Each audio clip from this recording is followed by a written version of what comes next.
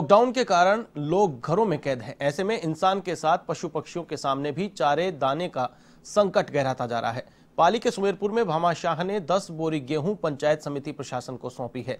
ग्राम विकास अधिकारी ने बताया कि कोरोना महामारी के इस दौर में कई परिवारों के सामने रोज़गार का संकट पैदा हो गया है। ऐसे में जरूरतमंद परिवारों की सहायता के लिए लगातार दानदाता आगे आ रहे हैं।